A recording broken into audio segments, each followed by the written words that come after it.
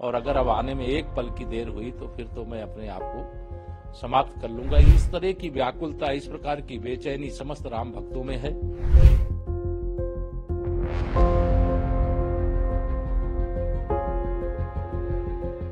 एक एक पल वर्षों के बराबर जैसे लग रहा हो 22 जनवरी के इंतज़ार में। वैसे ही इंतज़ार हर राम भक्त कल 22 जनवरी का कर रहा है प्राण प्रतिष्ठा की। के शुभ मुहूर्त का कर रहा है। माननीय प्रधानमंत्री श्री नरेंद्र मोदी जी के अयोध्या आगमन का कर रहा है।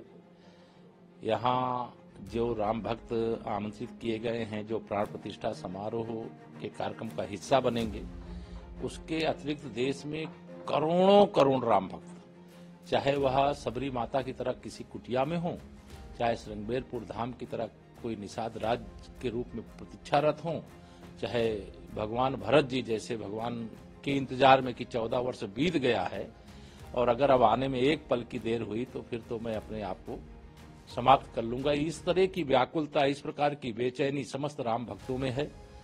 कल 22 जनवरी 2024 ऐतिहासिक घड़ी है।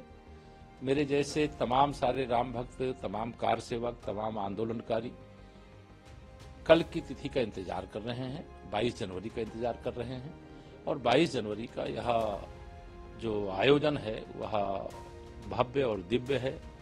तैयारियाँ लगभग सभी पूरी हैं।